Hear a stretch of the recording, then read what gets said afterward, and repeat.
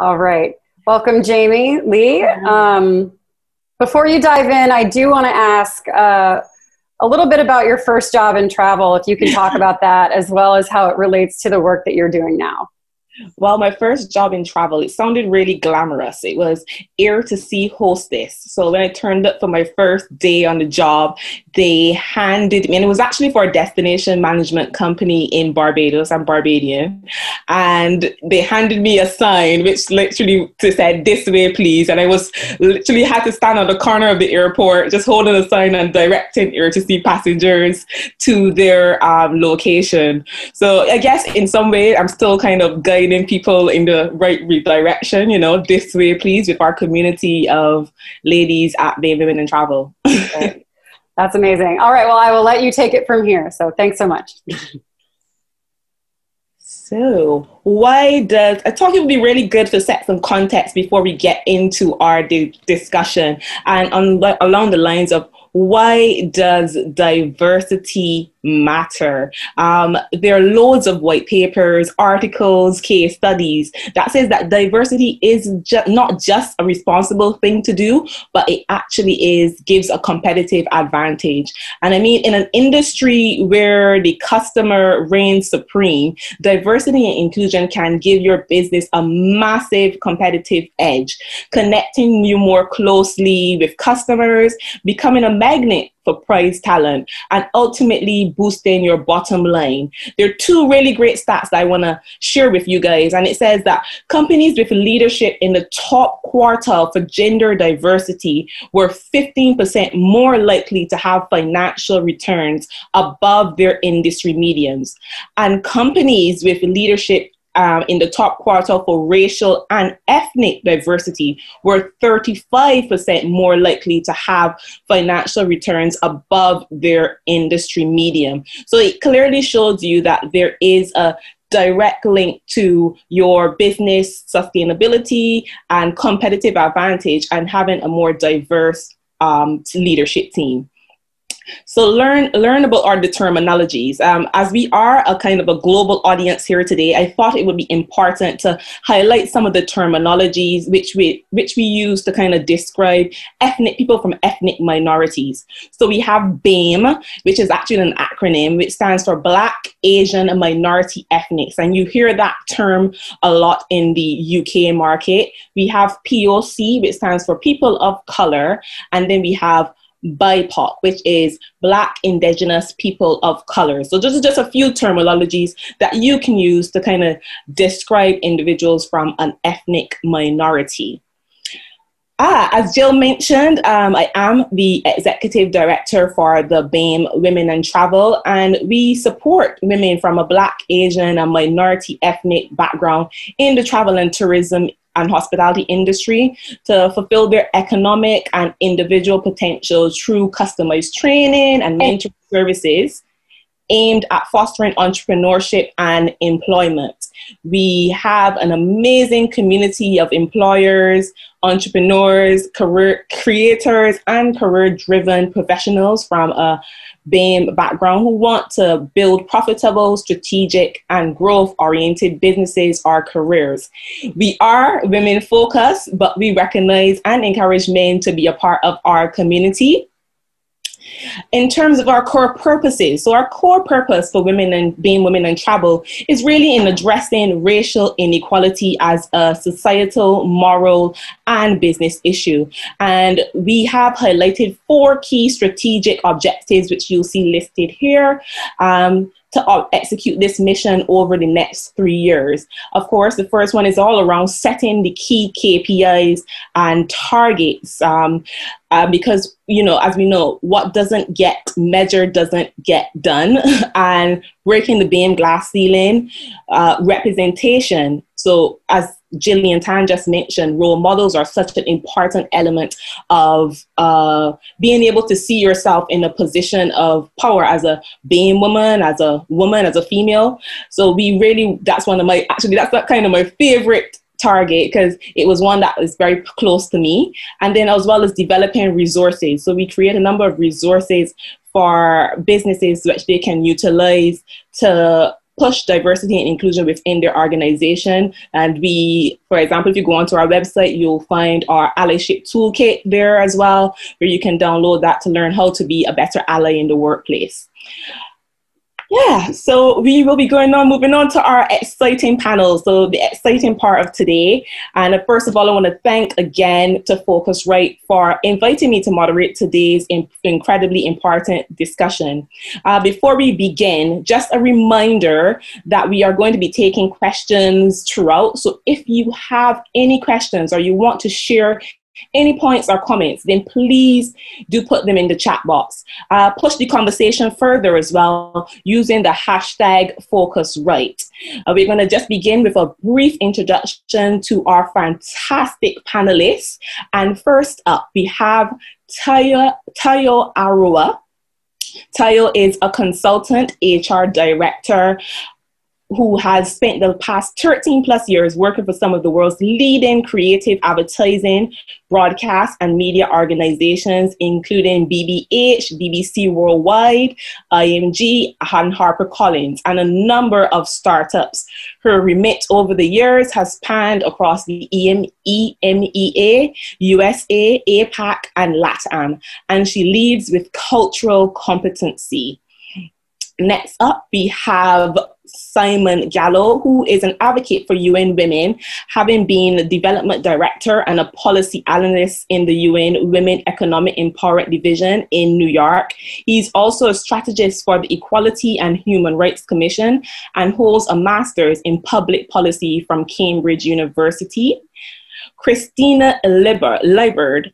Christina is the founder and CEO of Voyager, an AI powered travel concierge for the designated planner. Now, Voyager creates optimized itineraries based on the traveler's likes, destinations, dates, and budget. Voyager is also a community platform that allows like minded travelers to leave reviews and tips about where they have been and learned and gain access to Voyager's vendor partners at the traveler's destination. And last but certainly not least is Lauren von Stackelberg is an entrepreneurial inclusion and diversity leader, founder and charity board chair with experience in technology, travel, and finance across 13 countries. Currently, Expedia, Expedia's group's first global head of inclusion and diversity, focusing on employees, partners, customers, and communities, and co founders of Collaborative Intra Industry Network, CEO Action Inclusive Travel Subgroup founder of Microfund in Ghana and co-founder of the Wealthier Network. She is a trustee and found of Founders for Schools and also chairs both Founders for Schools Diversity Advisory Committee and the executive board of Foreign Sisters with Cancer Research UK. Lauren is a list maker for Forbes 30 under 30 and Manager Today 35 under 35. Thank you all for your time today to have this very important conversation. One of my favorite lines is without conversation, we can have no transformation. So thank you very much for joining us on this panel, lady, um, ladies.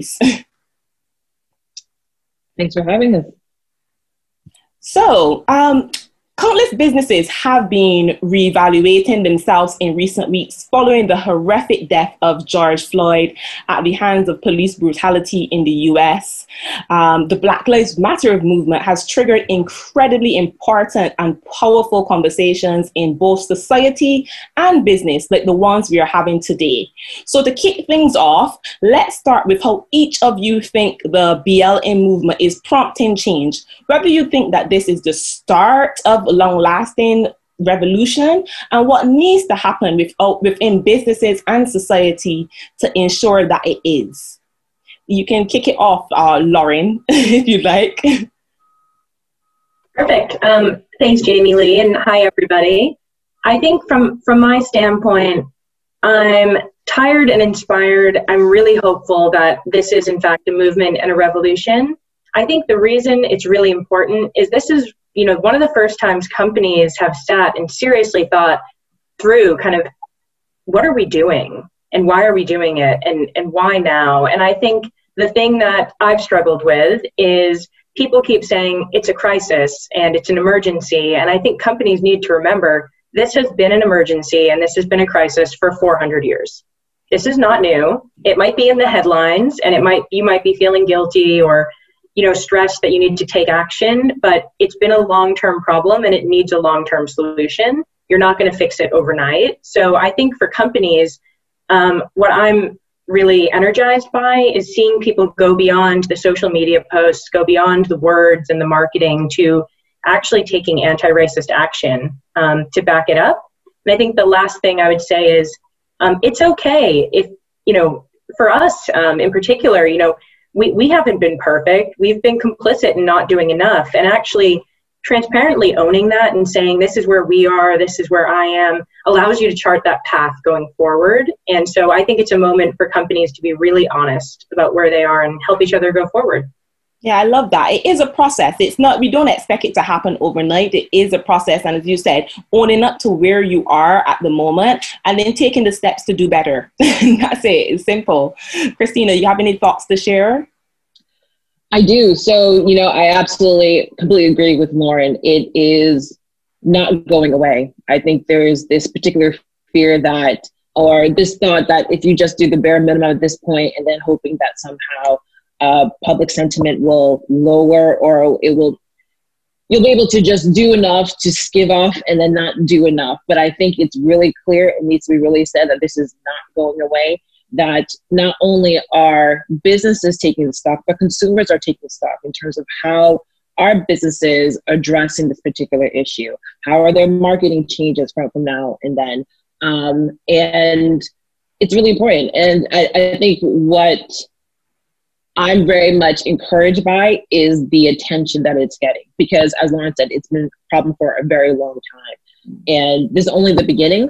Um, and it's my hope that companies will continue to take stock and continue to take inventory about privileges that they have ingrained within their culture so that they can then start addressing it, saying, We have messed up in the past, but we will do better in the future.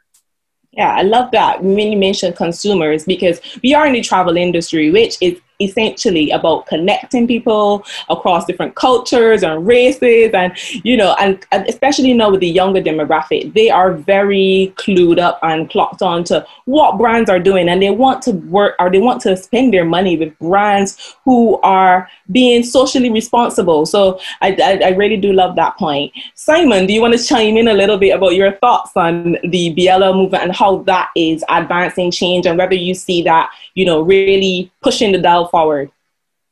Absolutely, and, and thank you so much for having me today, and uh, for everyone um, joining us today as, as well. I know we've been doing a lot of uh, staring at bobbing heads on screens over the past few months, so I really appreciate your time. And uh, yeah, I mean, just to uh, build on some of the, the, the, the sentiments that have already been shared, um, I hope everyone feels when it comes to the Black Lives Matter movement a sense of energy and invigoration about it. And um, there are people who have been talking about these issues for many years. Um, the new sense of, as I said, energy and optimism that the movement has given us uh, is incredibly exciting.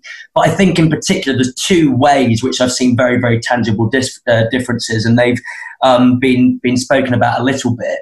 Um, the first one is around education. Um, people are really beginning to take ownership for their education and understand what structural, societal, institutional racism, sexism, etc. means this time six months ago, 12 months ago, we weren't even having conversations about this. And when people talked about racism, they thought it was, for example, um, shouting at somebody in the street or bullying somebody at school.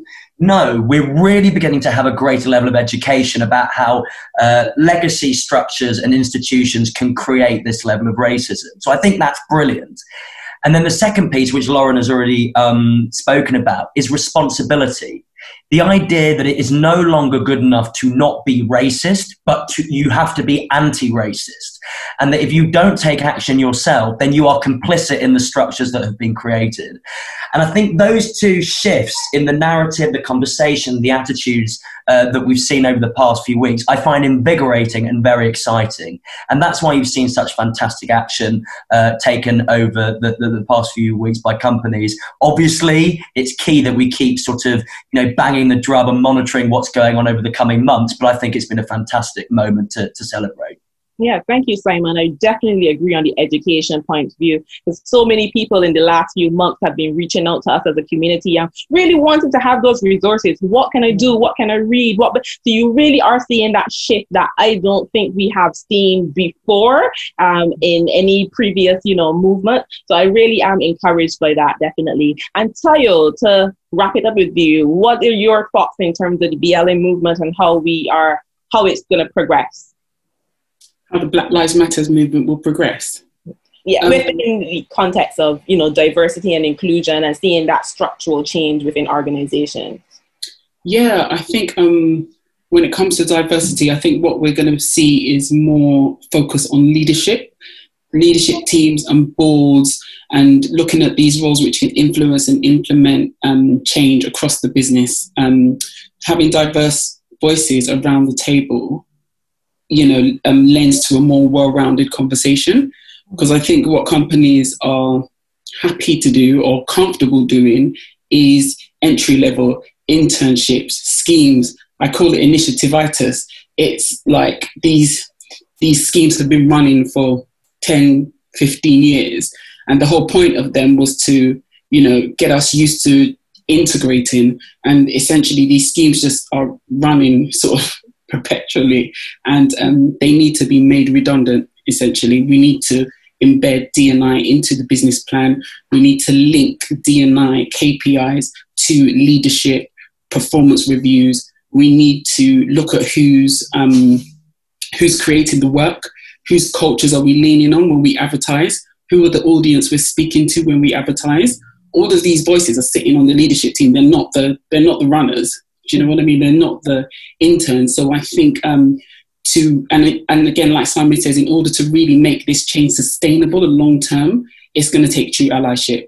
So yes, do the anti-racism, disability training, all that training is great, but leaders need to ensure that the learning outcomes on, come off the paper and into the everyday practices and procedures. I had a conversation with a company earlier this week, but they have a super ethnically diverse Gen Z workforce. Um, they're a startup, um, but they've all worked for major organizations, all the leaders in that company, and they're trying to phase everyone back to the office. And what they don't, they're having a lot of pushback. What they don't understand is most Black and Asian young people live at home in multi generational families. So you've got babies, you've got elderly grandparents who are shielding, and they don't seem to understand that. And when they couldn't believe it when I said it, but it's because you look at their leadership team, and all of their third parties and all the um, you know outside counsel, they all look the same. So you don't have any diverse voices, you don't have any diverse perspectives, and then you're going to have gaping holes in whichever strategy you're working on at the moment. So I think we really need to progress beyond those um, sort of behaviors and, in essence, perpetuate the behaviors that lend to you know truly inclusive cultures. Mm, that's a great point about the intersectionalities, and we're going to dig into that a little bit deeper as we go further into our discussion. Really great point there. Uh, Lauren, I'm going to bring, bring, go, back to you, and I want to talk a little bit about how can we really turn the dial for diversity and inclusion in leadership from just having from just a nice to have in your business to now a business critical. How can we really start to change that dial? Yeah, I think it's a fantastic question, and it's something that you see a lot of um, you know companies, startups, big companies reckoning with right now. I think one of the first ways to do it is take accountability for where your inclusion and diversity, which is what we call it. So I'll probably invert it. Um, where that team sits, right? That team should be reporting directly to the CEO. That team should be able to talk to your board. Um, that team needs the empowerment to be on the agenda in all company town halls, to have their work highlighted in any company wide newsletter, any company wide comms. Inclusion needs to be embedded throughout so that it's really front of mind to employees, but so employees also know this is critically important to leadership, to the board. I think the other important piece um, is taking it beyond your employees. You know, recognize in travel for us, you know, $95 billion is spent by travelers with disabilities every single year. Um, you know, travelers with disabilities are 15% of the world's population. What, what and how are we creating equity in our system or removing bias in our system to help support that? You know, think about women. Women are spending $72 trillion in consumer spending. That is more than India and China's combined GDP. And I guarantee you, you're thinking about China, and I guarantee you, you're thinking about India. So why not think about women? So start to think about, you know, who are you servicing and who are you doing a disservice to in the world, and how can you build equity um, through that work? And then the last piece is accountability. Something I'm really excited about um, that we put in place this year is having um, one goal for every employee in the whole company be related to inclusion and diversity. So we've done a lot of um, skill building around how to set goals and what those could look like. But ultimately, it's up to everybody to choose, you know, where they are in their journey, what that goal might look like. But it gives everybody accountability to say it's not the job of me or the inclusion team; it's everybody's job to move this forward and to kind of change our industry. Yeah, that's fantastic. You mentioned about yeah, it being, you know, it has to be have a top-down approach. And I mean, right now, leaders and organizations are being asked to kind of step up and commit to that racial and social justice, dismantling the systems of racism and inequality start at the top of the travel company. But how do we manage, you know, that top-down approach with an equally effective bottom-up strategy without the kind of diversity initiative invariably getting stuck in the middle? Yeah, it's, another good question. I think don't underestimate the middle. A lot of people focus on leaders and what leaders need to do, and it's critically important. And, you know, as um, Tayo pointed out, then there's a big focus on who's coming in and the entry level and how do they feel and how do we make our company culture um, resonate with them. That focus on middle managers, people managers, thinking about who's making critical hiring decisions, promotion decisions, compensation decisions, those are all places where bias can show up and can perpetuate a lot of these inequities that you already have in your company. So you really need to be thinking about learning, or in a kind of funny way, we're now calling it unlearning, a lot of what you kind of have, and, and really thinking about how to create a culture of allyship um, throughout the company. And that's not just talking about and defining it and having a speaker so people can listen, that's about letting them practice taking real life scenarios, doing role plays, working together. And I think um, for those of you joining the Ally Skills Workshop after, you'll get a small taste of this. But that's really important because people need to build that muscle and people need to practice and get it wrong and learn and apologize and keep going. So I think that focus on the middle um, is really important. And the last thing I'd say is just going back to goal setting, really think about the goals that you're trying to have your company aligned to if you send a message that says our goal is to you know increase our black talent by 20% does every single person in your company have the ability to influence hiring? Can people choose candidates? Do they interview? Are they hiring managers? If not how will they contribute to that goal? And so you need to think about how they're creating an inclusive workplace how they're you know eliminating mitigating microaggressions. What are the things that everybody can do so that it's not just a goal that the leaders can do and it's getting lost, as you said, in the middle. I love that. And Tayo, I'm going to jump across to you. Can you, I know you've worked with lots of different companies and startups, but can you give us some examples of companies that you've worked with that have recognized the need to do more with D&I within their companies and any positive examples that you can share that, of companies that have kind of gotten it right? yeah. So, on the path to getting it right at least. exactly. exactly. So I'm working with a company right now. It's a digital um, creative agency. They're globals. They have offices in New York, Hong, Hong Kong, um, London, Sydney, and Amsterdam. And um, and like you said earlier, lots of companies are looking at their global ambitions. This company looked at their global ambitions, and to be quite honest, we're not reinventing the wheel we're literally just saying what we said we were going to do um, years ago, um, but we're just um, delivering it at an accelerated pace. And it's just been really interesting to see um, the sort of um, D&I landscape across um, Sydney, for example, where we're doing a lot of work with a partner agency called the Agency Circle. and we're doing a lot of work with Aboriginal communities in um, Hong Kong, it's more the Indonesian and Filipino communities who are sort of marginalized and they don't have access into the um, creative industries. Um, the case in London is, you know, we have it's largely white, um, male, um, elite type private school educated. Um, um, that's how the industry is, and obviously America, New York, that's the kind of hotbed right now when it comes to at the minute when it comes to sort of racial diversity. So, so what we're doing is we're setting global targets, and we're leaving it to the offices to choose at least I would say four DNI areas because I think what a lot of companies are doing in the wake of George Floyd, they ran to the internet. We stand with you. Here's our black circle. It's fantastic, but I think we have to be honest with ourselves and say, yeah, we want to welcome everyone into the building, but not everyone can be welcomed and thrived and and and you know progress internally just because we're not set up to do that yet. So who are you set up to welcome? I think I'm working with, so I'm working with a company right now. Who are we set up to welcome? So we've chosen women, um, the BAME community, which is um, Black, Asian, minority ethnic, um, the neurodiverse community, so hidden disabilities, people with, you know, ADD, dyslexia, um, autism, that sort of thing, and um, people from low socioeconomic backgrounds. And um, again, we don't have those talent pipelines. A lot of what you hear, I think I heard a, a few months ago, Anna Wintour had the first black um, photographer take the picture for Vogue magazine. And when they asked, um, I think, I don't know if it came from her mouth particularly, I'm not sure, but she said something along the lines of, we can't find the talent.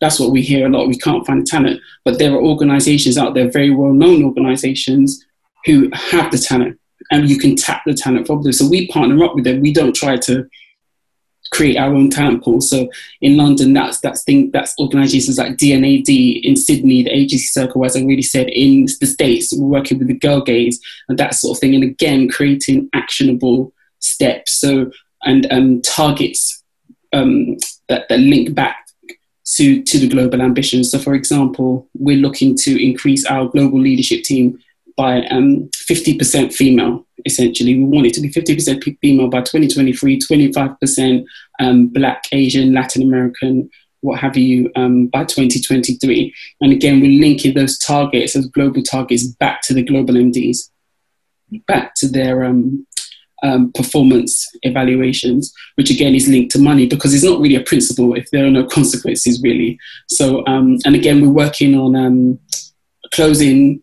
Uh, uh, unequal pay gaps, so unfair, unequal pay gaps. We're working on closing them by a, by a defined period of time.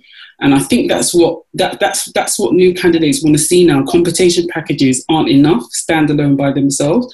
For example, as a black female, that intersectionality you spoke about, um, my salary will be hit twice. So when we talk about things like um, competitive salaries, we also have to ask ourselves, competitive for who? For example, and it's just those sort of things that we're workshopping, leadership are involved. It's a collaborative effort. I'm not coming in saying this is the way to do it. I'm literally sitting down, listening, workshopping, mapping out.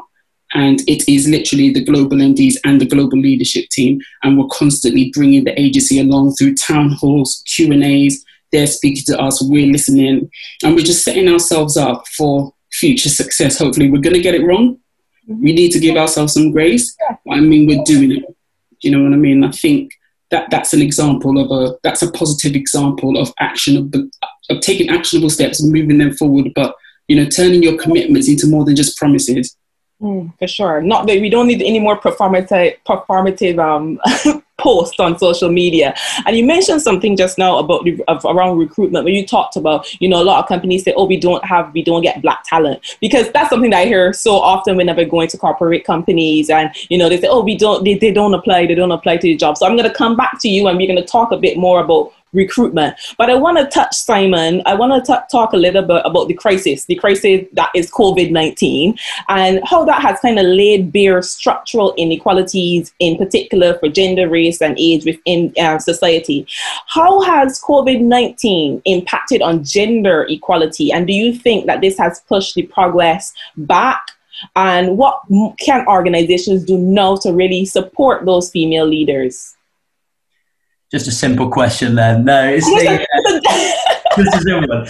Um, no, it's it's a really it's a really really important question. And actually, before I just go into setting out a couple of um, responses, I think it's uh, sometimes when I, I, speak to audiences, I actually think while it shouldn't necessarily be the case, it is important to sort of reflect on uh, my my motivation and perspective around this. Um, and because uh, I often get the question of, uh, as as a man, why are you so committed to UN Women, and why is this particular a subject that you're particularly passionate about? Um, and I always give two two responses really, and the first one is is around the fact that I was basically sick and tired of gender equality being framed as a women's issue to be discussed and solved by women, when in reality most of the problems lay with men and masculinity. Um, so that was the first response. And then the second one is that you know, it's, it's a firmly, deeply held belief that equality for women is progress for everyone. And I think there's a huge shift in narrative that needs to happen here, which is that for men as well as women, whether it's men who get greater choice over occupations, the ability to talk about their emotions more, their sexuality, gender equality benefits everyone. And that's why this topic matters to me so dearly.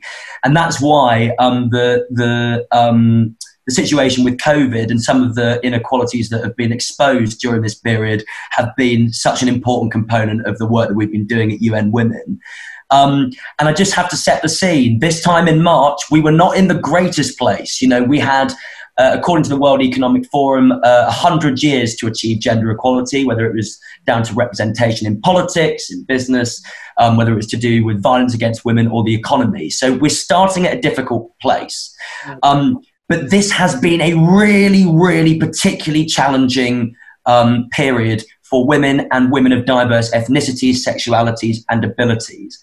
And while I think there is a, I have huge levels of optimism now, and I really do because people are talking about these issues, men are getting engaged more than I've ever seen before, and I genuinely believe there is a desire for structural change we really are in a, in a very, very difficult position. And I think, you know, there's lots of areas I could talk about, but broadly, the three are uh, health, violence, and work. Um, and taking those each in turn. Health. Um, globally, 70% of frontline health workers are women.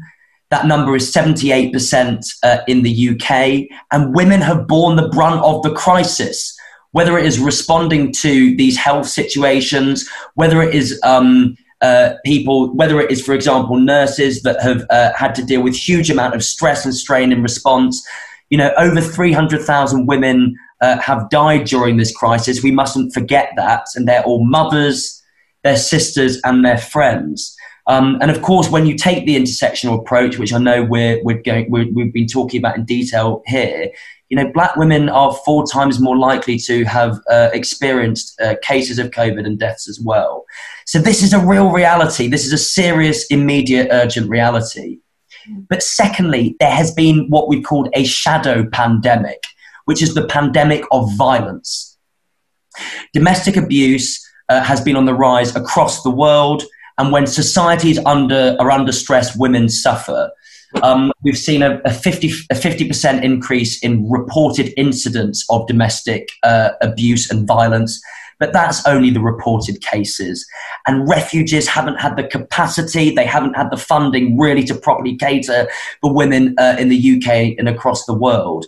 Uh, and, and again, this has really been exposed.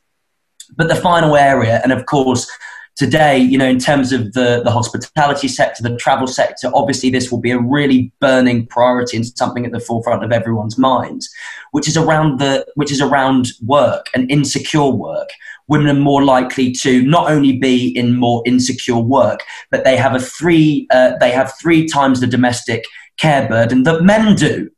And so as I said, while there is a greater awareness, education, understanding about the challenges that women face when it comes to the workplace, home, violence, etc., now we have even more challenges and we have to take even greater action to, to take us back to even where we are. But as I said, I am an optimist because the conversation is happening. But goodness me, this has posed some laid, laid bare some really profound inequalities. It, it really has. And you know, thank you so much for setting that context because it really just drives home that, you know, diversity diversity is not just an organizational issue, but it's also a societal, it's a big societal issue that you have to take into consider- consideration. I've seen Jill pop up on the screen, which means that she has a question from the I audience. do. Yes. So shoot away. okay. I like this question because it, it's, it's a little bit looking at the uh, next generation coming up. So, um, how does the next generation feel about diversity and leadership? And is it getting somehow easier for them to sort of start this, I guess, from early on? So. Maybe Lauren, you want to take that one? Um, I do also want to make the space. I know Christina hasn't had a chance to talk as much, so I don't know, Christina, if you have anything you want to add, and I can maybe jump on at the end. Sure. So one thing I will say is that um, the younger generation is very aware. I think more aware than any generation that there has been that there's been massive inequalities within the system um, of society, and they're the ones who are really the, the, the foot soldiers right now as part of the BLM movement, um, simply because they know that we can we can do better. And so it's with that that they're becoming much more educated. They're calling attention to different things, even within social media. You see that that's their medium that they're using very strongly to advocate as to why things are wrong and why it seems like it should be intuitive that this is wrong, but they're still seeing these kind of atrocities happening not only within the U.S. but uh, you know th- throughout the world. So um, they're taking action. They're calling people to the carpet, so to say, and um, if they don't see the action, we're seeing very much they're very uh, uh, they take a very strong stance immediately say okay well we're not with that and they're going to move on to, to some someone else or some other business that will take their considerations um, seriously. Anything else to add lauren or you? The only quick thing i would add and i agree with all of that christina i think that's great um, is don't underestimate how much this is going to show up in your recruiting. Mm. young people are asking and they will keep asking and if you don't have the answers they won't work for your company and they will go on blind and they will go on glassdoor and they will tell everyone that you don't have the answers. And so it's really really important that not just hr but every single person knows what you're doing and why you're doing it and can talk about D&I to that, you know, up and coming, all the generations entering into our workforce. Yeah, for sure. I think it, but particularly for the recruitment element is really going to be very key. You know, they want to see and they want to work within organizations that are actually doing, not actually that's just saying it, but they're doing the work. And as you know, we all know that they are very big on the call out culture and jumping on, on social media and sharing, you know, the news about your organization. Um, Christina, I want to talk to you a little bit about allyship. You know, as a member of the BAME community, I am very, very aware and thankful of the importance of allies. Um, if you want to achieve a society that is that isn't just against racism but is anti-racist, how important are allies in helping us to achieve this? Well, you know, I will definitely say that we've had a number of people. I used to work with an organization called Voyager HQ, and a number of um, organization businesses reached out to me shortly after George Floyd to ask, "How can I help?" And it's amazing that you came to that conclusion that you do need to do something. So very much so, you know, you're you're realizing that there is a problem. I think on top of realizing that there's a problem, you also need to understand what your role has been in perpetuating that problem. Because unfortunately, there are steps that our white counterparts, both men and women, have done that may have done unconsciously. Unconscious bias is a massive issue that sometimes, again, because it's unconscious, we don't know how much we're playing into the system. So, realizing how much unconscious bias and privilege plays into this role of your decision making really impacts how we can become an anti racist society. So, understanding your role in that. And once you take stock, once you take inventory of how much your actions, your decisions, etc., has impacted those within the people of color community, then you need to take affirmative action. And sometimes I think that phrase affirmative action really turns people's heads, particularly in the US, because I think it's somehow it's a dirty word for some reason. But it really isn't, because what we're trying to do is we're trying to right a wrong, a wrong that has been perpetuating for decades and decades beyond generations. So looking at yourself, looking at how your decisions are doing and taking affirmative action to ensure that your recruitment is actually um, balanced and that you're looking at your um, employment group to see, okay, what are we doing differently? And sometimes that really means looking at each individual office. There was a, um, I took on a particular client to actually do an affirmative action plan. And we looked at every office to ensure that A, we're looking at what is the available recruitment within that particular city and how does that actually reflect that within your particular office for, for that city. And sometimes it is glaring how much you're really missing out. And it's not necessarily women as well, women also be taken seriously, but really about people of color within that particular city. So, for instance, if you're in Austin, Texas, and there's a large Latino community there, but less than 2% of your workforce is reflective of that community, that's the problem. So, things of those those really actionable things you can do um, will really move the conversation forward into, I think, a place where everyone can feel that we've done our part to be anti-racist. Mm, sure. I'm glad you mentioned recruitment because that's a big element of it. And I'm going to come back to you now, Tayo. And I want to say, how can we ensure that you know ethnicity unconscious bias around ethnicity for example is not a barrier to people getting jobs and being promoted to kind of senior promotion i think it also ties in a little bit about with allyship a bit you can, you can yeah. talk to us a little bit about that. That'd be great. Yeah, I agree. I think um, I think the way to influence recruitment is to do the work before you get there, or recruitment's not going to stop. So do the work while you're recruiting. So essentially, we talk about unconscious bias when it comes to ethnicity and being a barrier to people getting jobs and promoted. Unconscious bias is unconscious. So we need to work on recognizing it um, we in, in the work environment we have the power to make certain training mandatory but it's not just a one-off training session. It's an everyday thing. It's um, you know it's understanding what a microaggression is for example. It's understanding and microaggressions aren't always negative. Sometimes it's when i walk into work with grace like oh my god your hair looks amazing! Really loud. Everyone all the time. And it's nice but it's like just say your hair looks good girl just, it's so true. I'm sorry. It's so, so true. As another black woman too, just, just pop in like, absolutely, that's so true. Do not call attention to my hair. I know it looks different. Yeah. Don't do that. I was like, you could just tell me it looks good, but it's it's such a nice thing, and but the, it just causes anxiety. So so it's just things like that that you're you're going to say, oh, I didn't know, but it's not bad. It's not bad. It's not a bad thing to do. So, um, but it's just about. It's, essentially, it's about that self awareness and encouraging transparency in terms of um, the avenues in which your employees can call it out. Because a junior, for example, is less likely to say something and is more likely to just resign if things keep happening and nothing's changing. And when that company is not getting the feedback, they might think they're doing well. And we never want that. but um, yeah, I mean, uh, uh when it comes to recruitment, it's essentially the same thing. Ex- extend your talent pools broaden your talent pools, reach out to people who already have these talents. And, and in, in London, for example, in England, for example, we have legislation where you can't, unless it's a modeling job or an acting job, you can't actually say who you're looking for, but you can be quite explicit in we're looking to see more diverse candidate pools. We're looking to see um, candidates from uh, um, underrepresented backgrounds, from marginalized, more disadvantaged backgrounds. You don't have to say low socioeconomic. You can just, you know, be quite general about the whole thing. And I think also what we're seeing is clients dictating.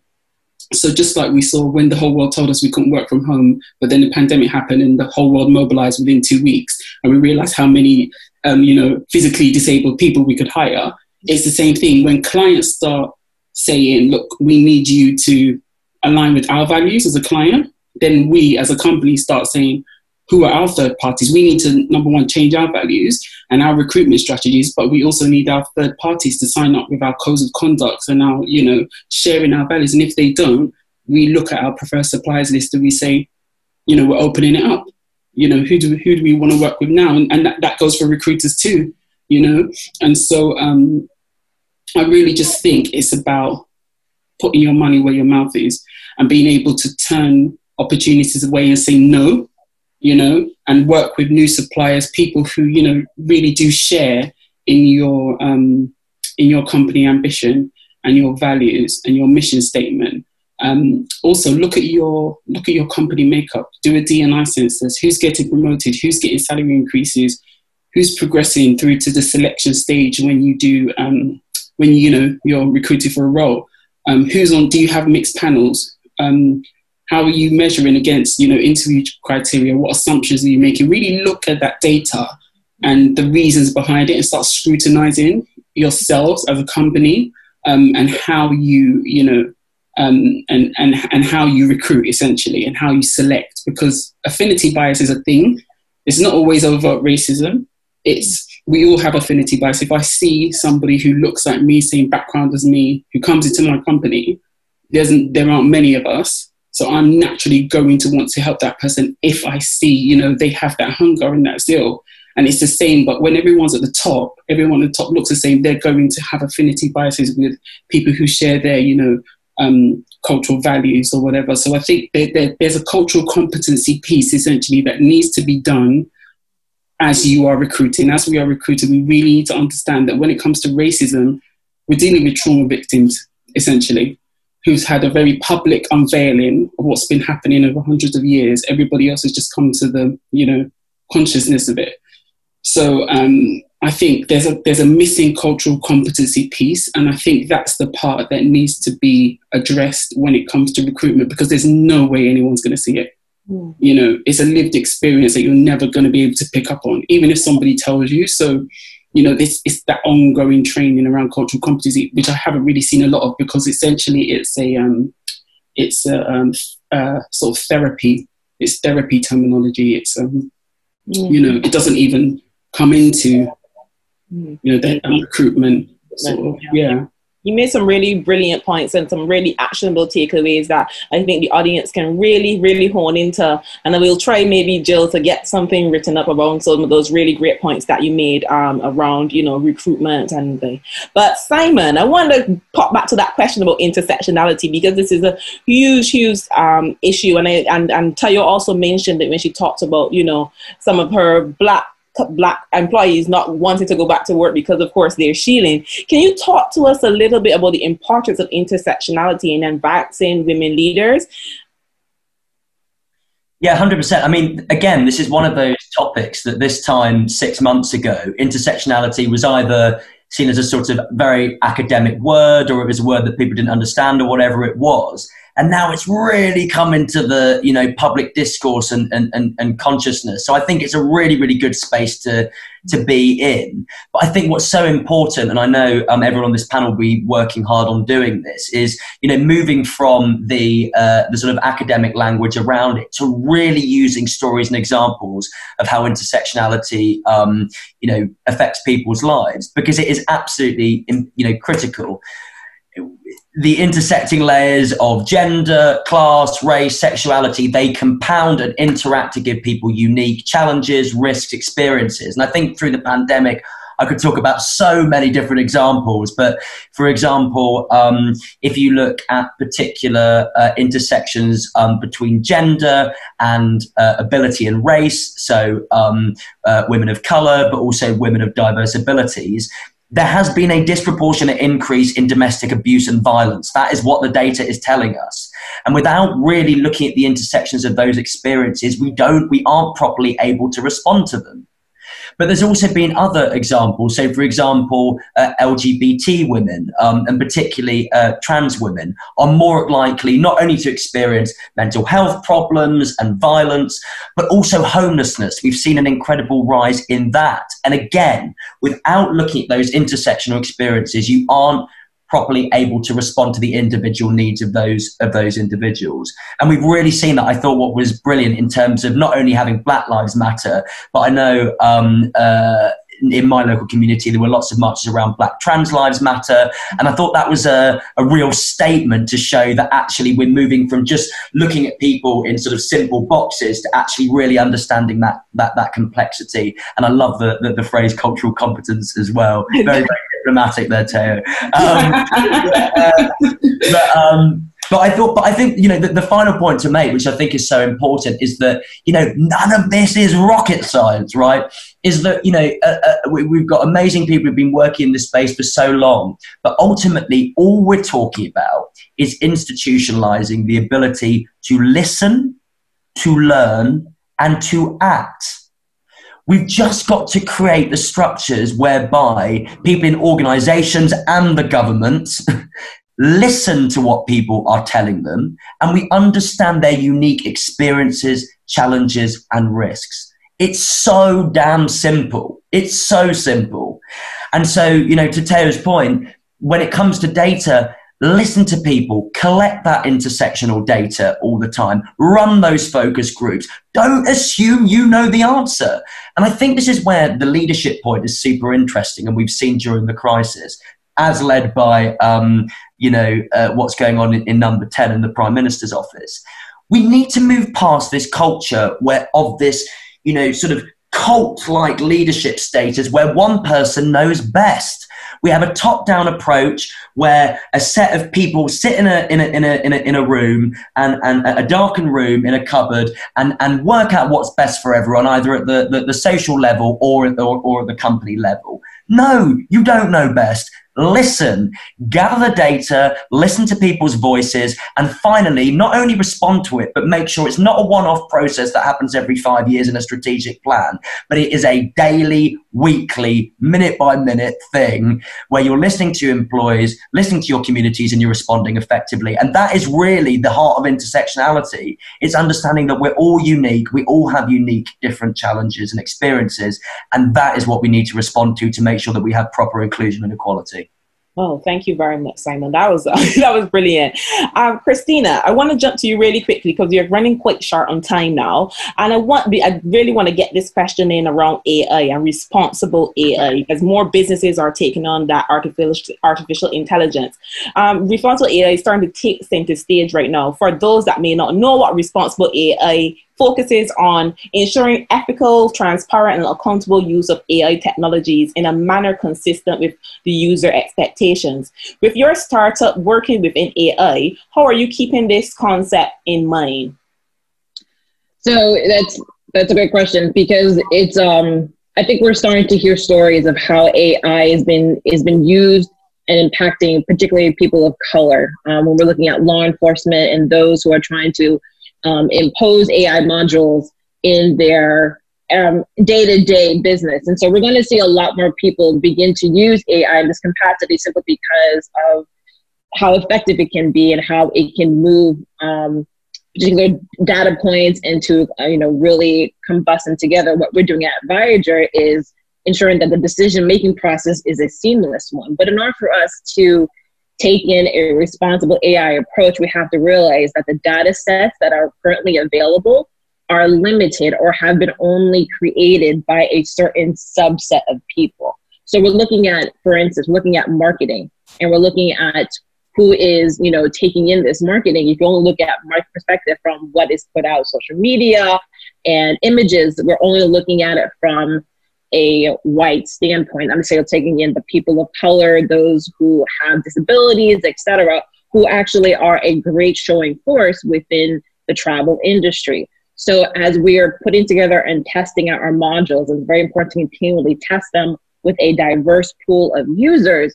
We have to take into those considerations because maybe culturally, you know, um, they might take a particular suggestion that we make differently than maybe someone else would if they had particular uh, disabilities or if they were from a particular uh, socioeconomic uh, position. So it, we have to be mindful that the data that we're using to justify our decisions are slanted to a particular subset. And until we can start creating uh, really diverse data points that really addresses all kinds of users, we have to be mindful that this the AI that we have right now is not foolproof. Um, so we've been working very tirelessly in ensuring that we're bringing on users to continually, what I say, break the system and to continually input things that we, as our as we build up our own data sets and our own APIs to ensure that um, we can address everyone across the board. Brilliant. Thank you so much for that. I've seen Jill pop up on screen, which means she has loads of yes, questions for us. I do. Um, I will note that we only have about five minutes, and that um, for anyone that has to is going to the allyship workshop, that begins uh, right at the right at uh, fourteen thirty. So or fifteen thirty. My my American time is wrong, but um, so go ahead and switch over to that in a few minutes. But um, yes, we've got a lot of good questions, and if anyone else has any, put them in the chat box. But um, this kind of just leads with the AI conversation we were just having. We someone asked, how will the computer HR matrix train so they won't clear out minority candidates? Oh, mm, interesting. That's a good one. Um, Kyle, maybe you want to take that, or should I take it from an AI standpoint?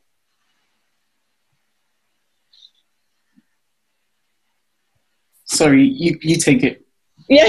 I think it's more an AI question. sure. Um, you know, I think a, particularly with, with AI, again, it's about those data those, those data sets that we're using to train modules, right? And so in order, the, the way AI works is that we tell them to look for certain things, allow that to filter down into things that into a much smaller group that way we can begin to cluster um, information and users. So the way it works with these particular um, HR systems and trying to find particular uh, skill sets, sometimes we're looking for particular names or familiarity with particular names that, again, may not be. Uh, that may not be considered a, a, a, normal name. So, for instance, you know, my name, last name is Liber. That is not a very common name, though. If you're in the Caribbean, that'd be something completely different. But, however, it may not be a Jones. It may not be a Smith. Um, and so sometimes also looking at locality of where someone's living, that could also be somewhere um, where we start shifting out information that could be someone who might fit in with our culture. So we have to, again, it's, um, it's one of the questions that you need to start asking your providers who are providing you this software to ask, where are you getting your data sets from? How is this working? And do you have diverse data sets to train your modules? And so those questions are actually quite intelligent questions because I don't think majority of sales personnel really are getting trained uh, to answer those kind of things. But it's really important if diversity is important for you. Um, so it's I'm hoping in the future as we get more advanced in training modules that we are doing better with this kind of shift. Great. All right, so this might be our last question due to time, but um, all right, this says to our Black participants, many of the people in the Black community we have been talking to expressed feeling overwhelmed, sudden responsibility to speak out for their communities, generally sudden attention. Uh, Christina spoke about this being unsure of truthfulness previously. And as leaders, how do you approach it? How do you approach making changes sustainable? for me, it starts with conversation. it starts with having the conversation. Conversation is inevitably equals transformation. Being open and being honest and knowing that, you know, it, it, that it, there's no perfect way and we don't expect i don't think that we as a community that we expect you to have all the answers. Um, but being open to sit and have conversation with us have dialogue around and not having that aggressive because i mean for, for me personally and from a lot of people that i've spoken to you know it's been refreshing to be able to have those conversations with individuals. Because beforehand, it was like if we bring it up, we are being, you know, what's that word? We're being too, you know, we we we, we picking at things that are not necessarily things. But now we're actually able to have those conversations. I think it really does start as a leader in the organization. I 100% think that it really starts with having an open dialogue with your uh, people from ethnic backgrounds.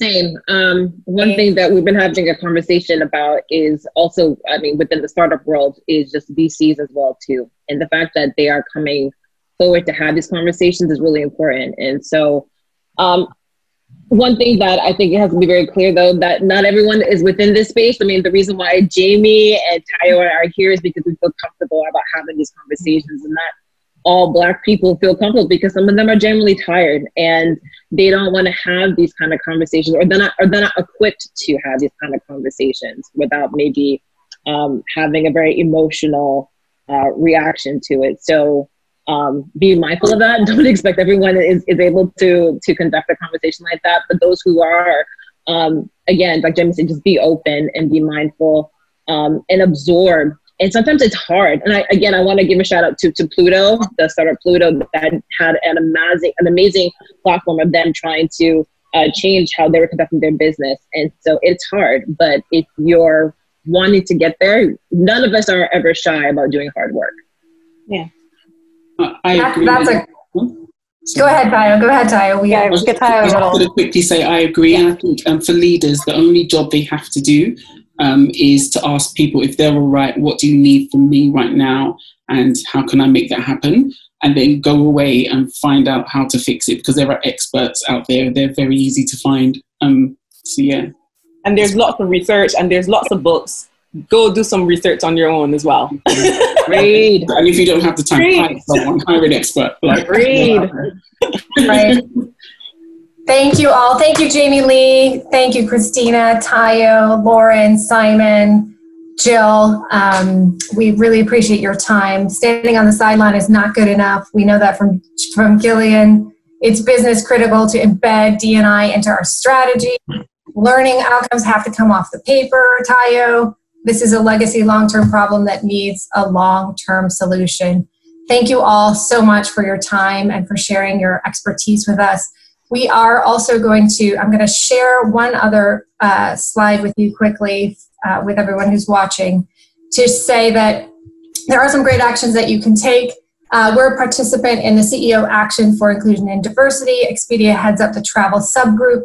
There are over 850 uh, CEOs across 85 industries who are dedicated to finding best practices, cultivating trusting workplaces. Uh, you should be signed up if you're not as your as your company. There are only a handful of travel companies. Uh, a great way to take action to move forward. Thanks again to uh, World Aviation Festival and and the audience that's live streaming now, watching this session. We appreciate your support and uh, and spreading the message. For those of you who would like to continue the conversation, you just need to go back into the platform, the Swapcard platform, uh, and click on the networking event within the day, September 2nd, and this session. It's right at the bottom. So we'll be moving over there now. And then also, those of you who've already signed up and been accepted to the Ally Skills Workshop, that is starting now. Please uh, hop on over by using the link that you received in your uh, Outlook invitation. And with that, I'd like to thank you all for participating in the diversity in leadership uh, session at Phocuswright and hope you will also be participating as we move into innovation and center stage in the next couple of days. Many thanks.